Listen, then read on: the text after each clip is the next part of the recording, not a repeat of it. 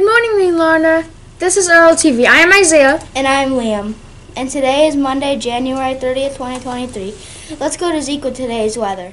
Today's weather calls for morning snow flurries and a high of 21 degrees. Back to you.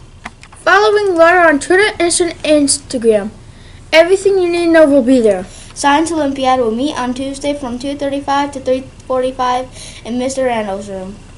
Art Club will meet on Thursday from 2.45 to 4 p.m. in the art room. There will be no study table on Wednesday. Let's go to Amelia with today's sports.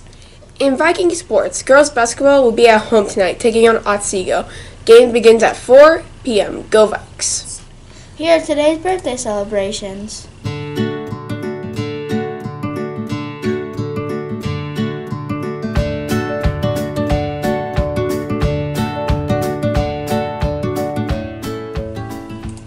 Today's Be Better quote is No man is an island entire of itself.